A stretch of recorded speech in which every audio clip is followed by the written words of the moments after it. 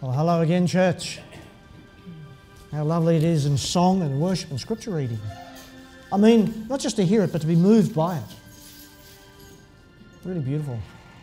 Really beautiful. Praise God. Um, I'm going to talk about treasure today.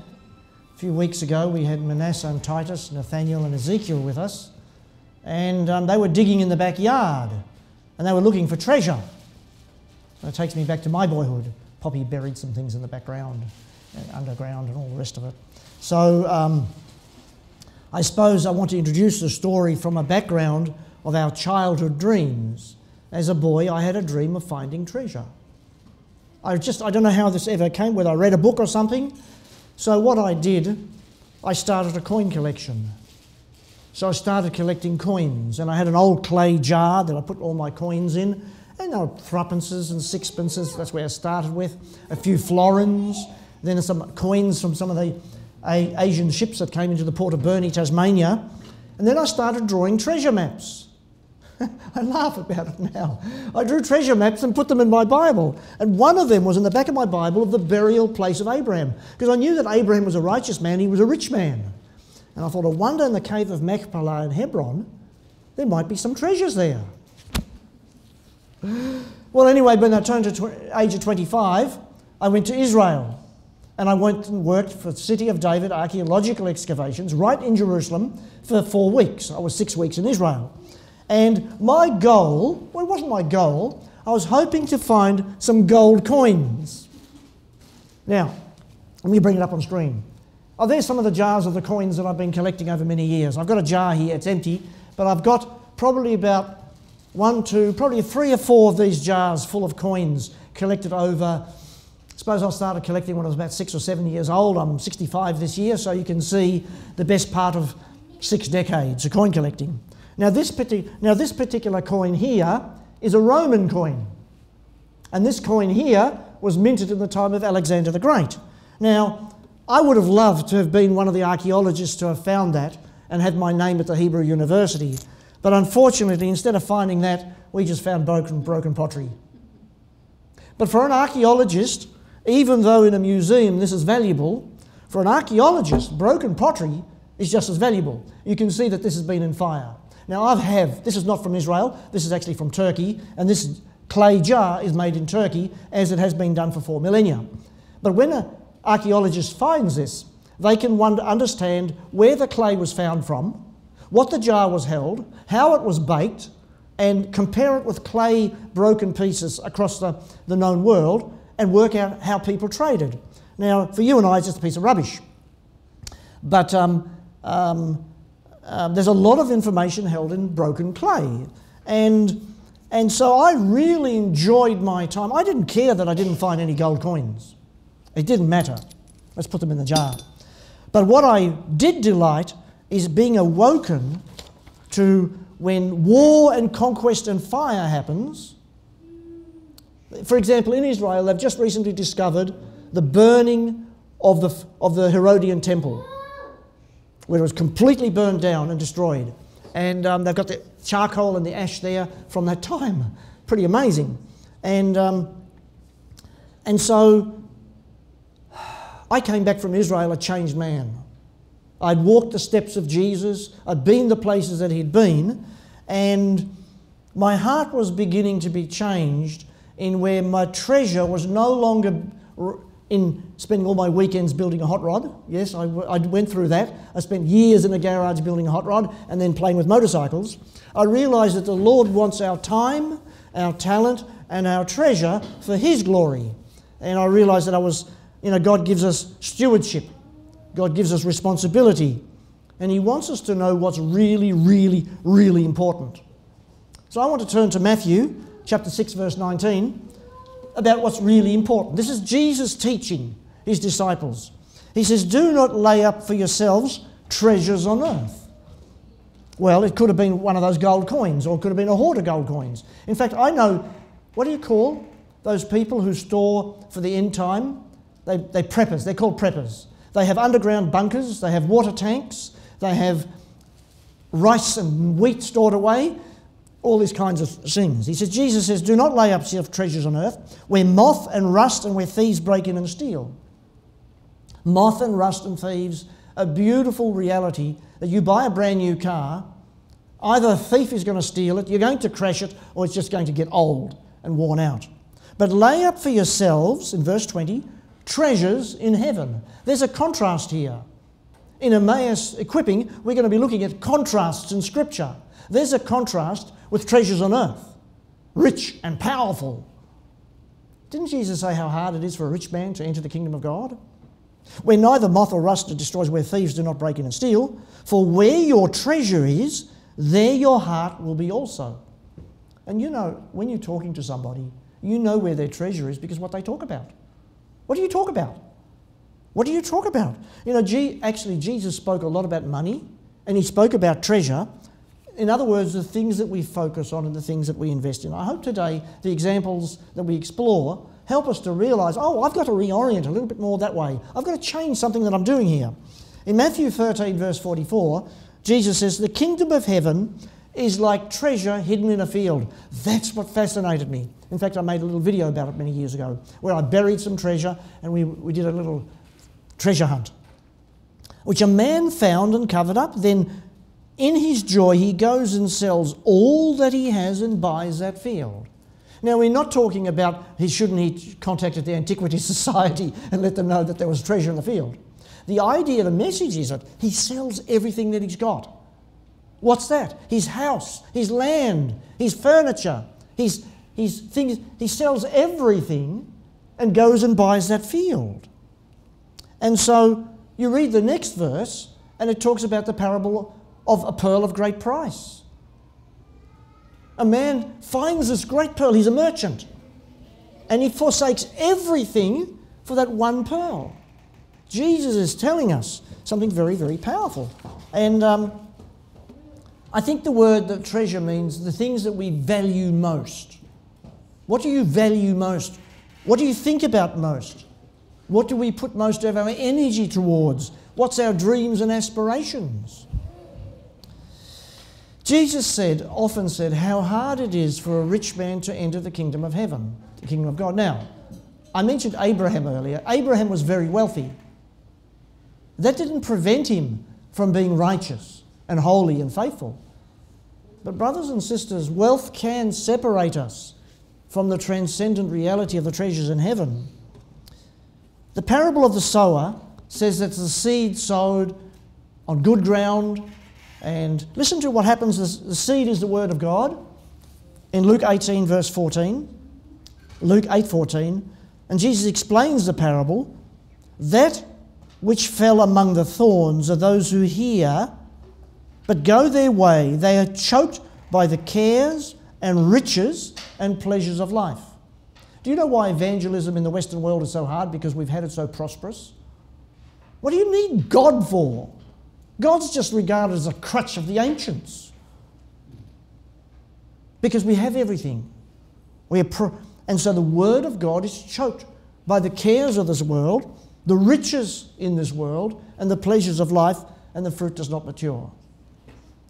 Now, why is that? You know why? Is because the wealthy who have lots of gold coins trust in their wealth. It gives them extraordinary influence and power. If you won $2 million tonight, or somebody gave it to you, you would have a lot of friends. Hello, how are you? Haven't caught up with you for a long time. They're testing your generosity. In other words, it gives you societal status. And yet, brothers and sisters, there's a great equaliser called death, and you can't take it with you. I remember a pastor in Tasmania saying the only thing that you'll take with you into the kingdom of God is the relationships you form in this age. Someone else receives it. You know, if you go back to Ecclesiastes, and we're not going to look there, Solomon struggles with the idea of injustice, where upon your death, all your possessions goes to a stranger. And he says, This is vanity. It's a grievous evil. It's wrong. You've worked, you've toiled, and you take none of it with you. And I want to turn to Luke chapter 12 because there's another beautiful parable there. And Jesus told them in verse 16 a parable saying, The land of a rich man produced plentifully. So he was doing well. And he thought to himself, now listen to how much he focused on himself. What shall I do? For I have nowhere to share my crops. A lot of emphasis on himself. And he said, I will do this. I will tear down my barns and build larger ones, and there I'll store my grain and my goods. Do you see the I and the me and the my woven into his thinking? And I will say to my soul, Soul, you have ample goods laid up for many years. Relax, eat, drink, be merry. How many times have you heard that? But God said to him in verse 20, You fool, this night your soul is required of you, and the things you have prepared, whose will they be? So is the one who lays up treasure for himself and is not rich towards God. It focuses me to realize what am I doing with my time? What am I doing with my talent? What am I doing with my treasure, the things that God has given me? You know, that's the crux of the message today. You know, in Matthew, another parable, Jesus says, I was hungry and you gave me something to eat. I was thirsty and you gave me something to drink. I was a stranger and you welcomed me. I was naked and you clothed me. I was sick and in prison and you came to me, as you've done it to the least of these, my brethren. You have done it to me. Boy, that's powerful. That is really powerful.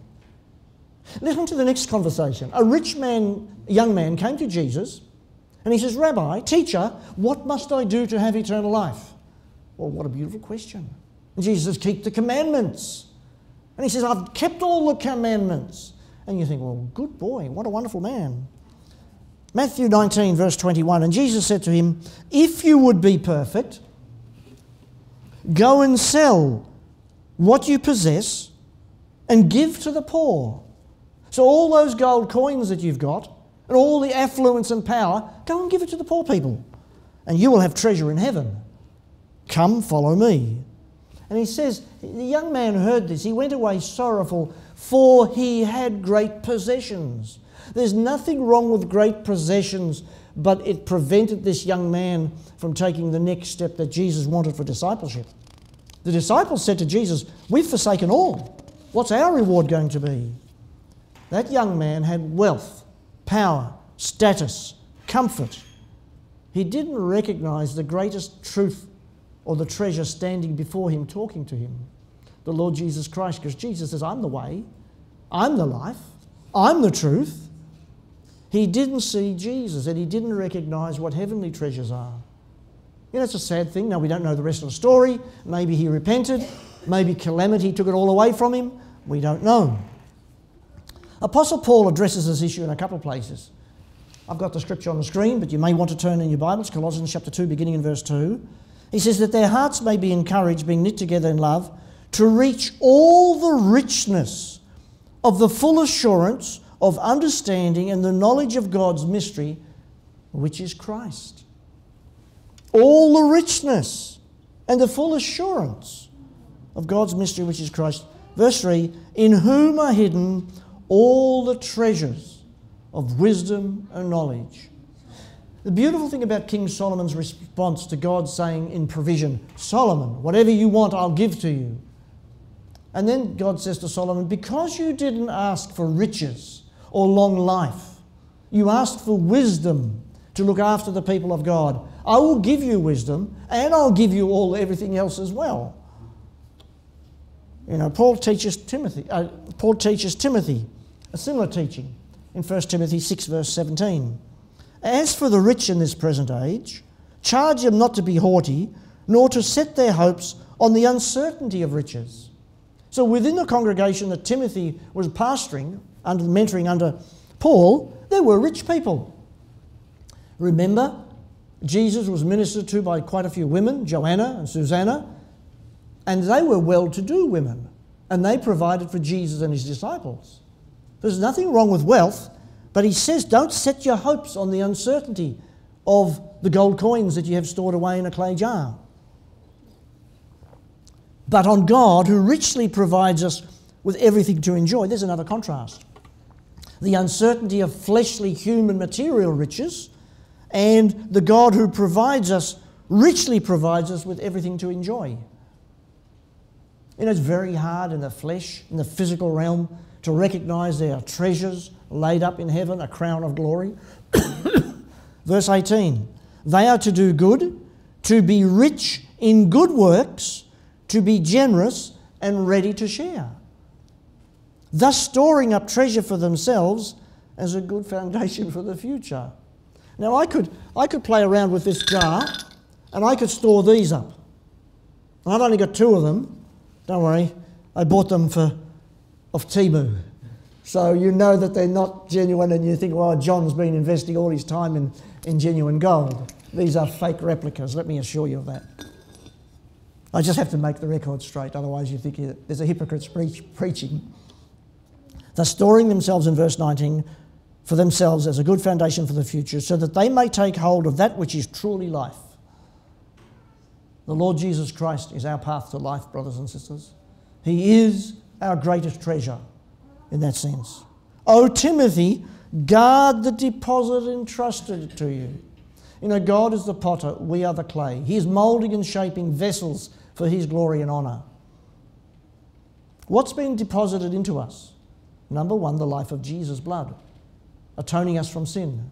And number two, the Holy Spirit, the seal of life.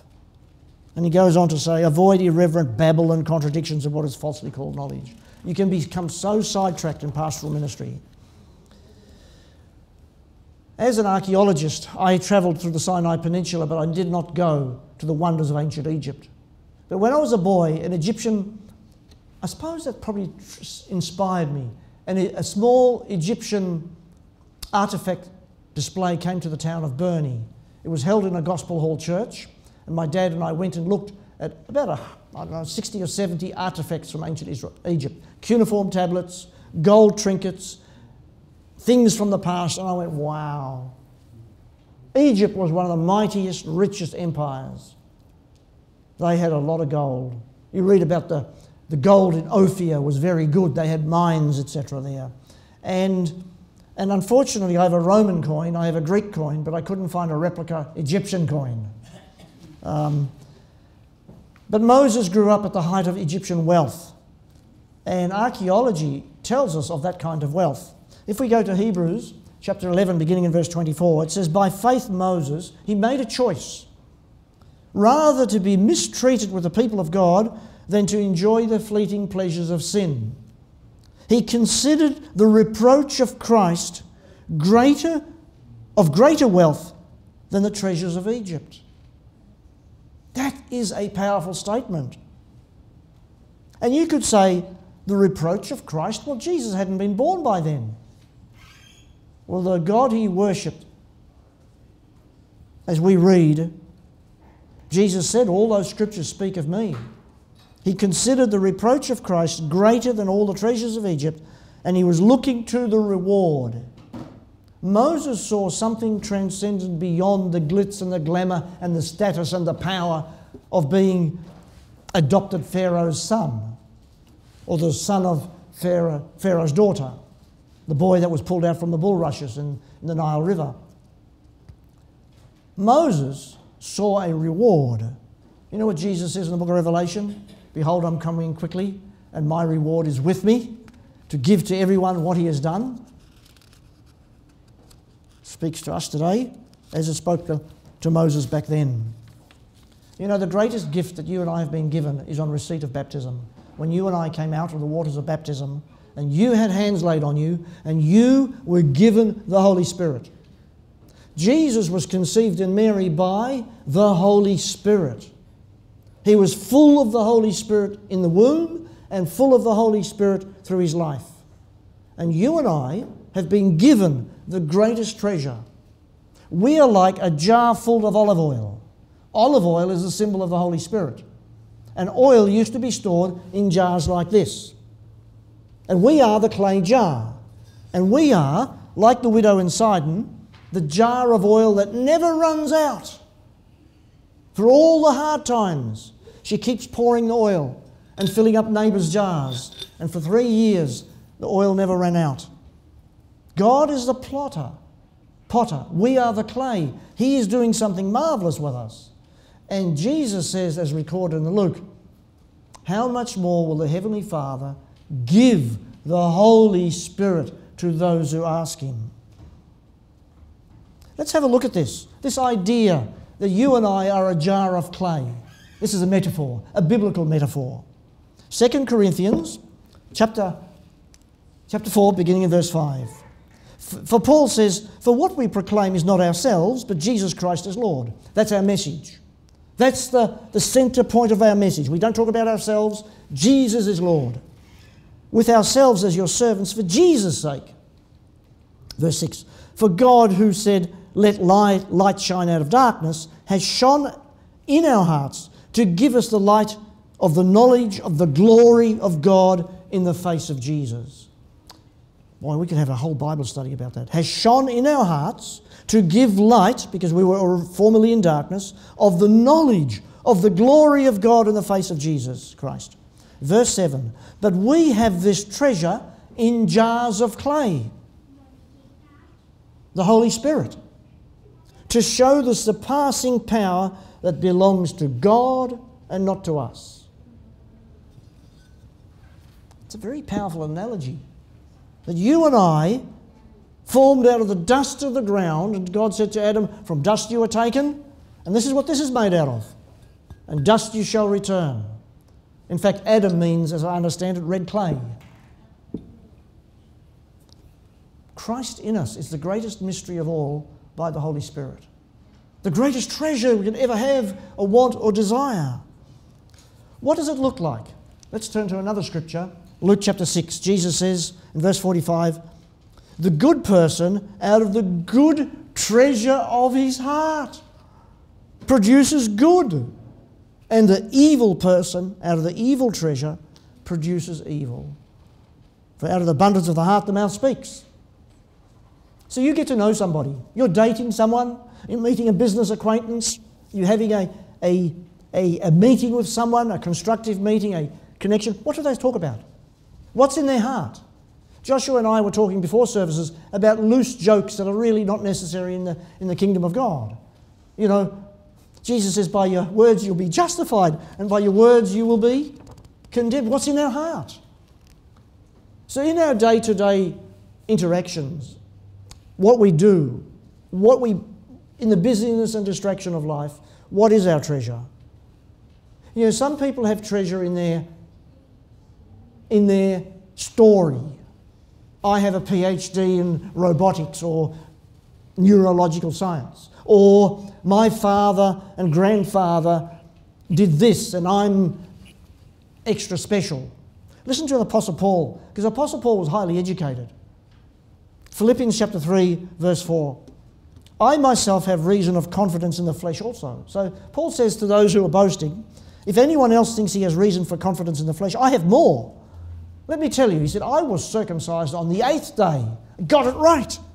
Of the people of Israel, yea, of the tribe of Benjamin, a Hebrew of the Hebrews. As to the law, a Pharisee. You couldn't fault me for law keeping. As to zeal, well, I was a persecutor of the church. As to righteousness under the law, blameless. Now, the law of God is holy, righteous, and pure. And Paul was saying, I kept the law and I was blameless. But he says, Whatever gain I had, I counted as loss for the sake of Christ. So he could have used his past life credentials as badges to sort of say, Well, here I am, guys. No. Indeed, he says, I count everything as loss for the surpassing worth, the worthiness, the treasure of knowing Christ Jesus my Lord. That's what the sermon is about when you know Jesus as your Lord, as your Saviour, by the indwelling of the Holy Spirit. He says, For his sake, I have suffered the loss of all things and count them as rubbish. The Greek word there is skubala, like chaff, in order that I may gain Christ and be found in him. Brothers and sisters, Jesus is the pearl of great price. All the things around us are transitory. You know, when I see a gold coin, I get a glint in my eye. you know, value wise, there's about an ounce of gold there, so there's about $4,000 in each hand. But historical wise, there's $300,000 in my hands. Thank you, Temu. Brothers and sisters, Christ is our treasure. God promises to provide for us everything that we need in this life. Have you ever read some of the Proverbs lately? We read some Proverbs over dinner last night. They're like a sermon per sentence. In Proverbs 30, the author says in verse 8, Remove far from me falsehood and lying. Let me be true, God, true to you in every word I say. Give me neither poverty or riches. I think I like to pray for riches, don't you? But no, there's something wiser here. Feed me with the food that is needful for me, lest I be full and deny you and say, Who is the Lord? Who is God? Lest I be poor and steal and profane the name of my God. Matthew 6:33 is very powerful because Jesus says, "Seek first the kingdom of God and his righteousness." Your food, your clothing, your shelter, the things that everybody seeks will be yours as well. God will provide. And when we know that, we live that. It's very powerful. I want to finish off in Revelation today. The greatest riches is in the worth of Jesus Christ. Isaiah and John heard the angelic hosts singing praise to God. Worthy is the Lamb of the greatest treasure of the greatest richness. The worthiness. This is what worship is proclaiming God worthy. Worthy is the Lamb who was slain to receive power and wealth and wisdom and might and honour and glory and blessing. And the angelic host never ceased from singing that. And John heard it, and Isaiah heard it. Brothers and sisters, today is a reminder that the, the wealth of Babylon and the wealth of Egypt and the wealth of Greece and the wealth of Rome can beguile us in this Babylonian system. But you've been called out of darkness into the glorious light, into the riches of Jesus Christ. And I trust and pray that we recognize where our worth is. Our worth is not in our pedigree, our worth is not in our status, our worth is not in our wealth. Our worth is not in our intellect. Our worth is worth in Christ and Christ alone.